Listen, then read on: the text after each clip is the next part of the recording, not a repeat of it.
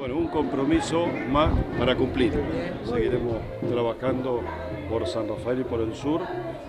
Y bueno, ahora donde la euforia y lo, se va calmando un poco de, la militancia, que es lógico que festeje después de todo el esfuerzo, por supuesto agradeciéndole a los 400 y pico de fiscales que, que estuvieron en todos los distritos, en la ciudad, cuidando el voto, y agradecer a la ciudadanía que confía con nuestro voto en el voto hoy, un día festivo para la democracia y mucho compromiso por delante, así que bueno, a iniciar bien la semana mañana y a trabajar como siempre por nuestra gente. Creo que la mayoría de la ciudadanía al respaldar con su voto, a ver, es cierto que las reflexiones habría que empezar a hacerlas siempre al otro día por lo menos, para ir este, pensando en todo lo que se quiere decir, pero siempre... Para decantar.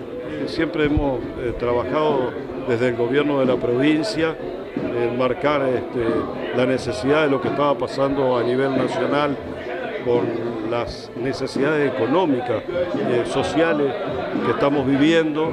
El sur y San Rafael no es ajeno a eso, por eso siempre se dijo que era una elección nacional y que queremos cambiar y que define el gobierno el rumbo de nuestro país para la juventud, para este presente, ni hablar del futuro.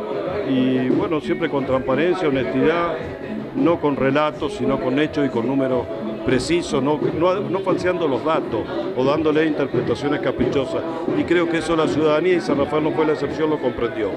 Y mostrando también dirigentes que se van renovando, llevando nueva dirigencia que creo que también eso va a ser para pensar. Lo prometido eh, para San Rafael, para el sur, de a poquito se va logrando, más allá de los vaivenes económicos, que lo que hay que entender que eh, si no hay plata y se discrimina Mendoza, eh, hay que administrar bien y a veces no se puede hacer todo lo que uno desea. Buscaremos que equipos con los cuales se involucren y comprendan cuál es este camino y que puedan seguir trabajando con compromiso en lo planificado, puedan tomar adecuadamente la posta.